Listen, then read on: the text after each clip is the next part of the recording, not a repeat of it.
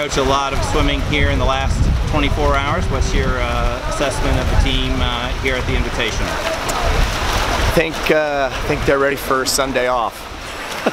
it was a really good meet. They, they swam well. Uh, we did a lot of racing, like you said, and uh, you know we could kind of start to see each session. I think particularly this afternoon session, uh, it looked like the end of a week of training, and so that's that's where we wanted to be. And then who performed well for Rice?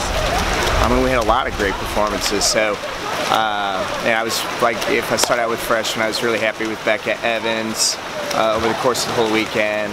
Um, uh, Marta Canel Monero swam really well. A lot of a lot of freestyle all the weekend. Showed a lot of range to get up and perform. A lot of different distances.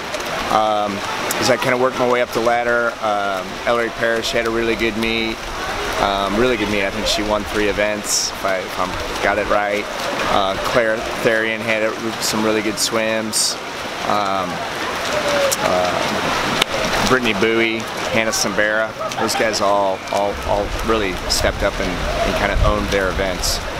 Is MC, would you say she's on schedule or yeah. maybe a little ahead of yeah, schedule? I mean, I mean I, maybe I'm just used to MC swimming well. I didn't name her, but yeah, she, she had a good meet. I mean, some really good relay swims, good good on the 400 medley relay.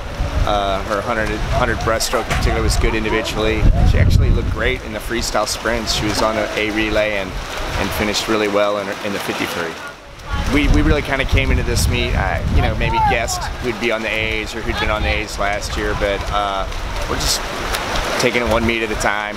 You know, feel like we need to shuffle around, we'll do it.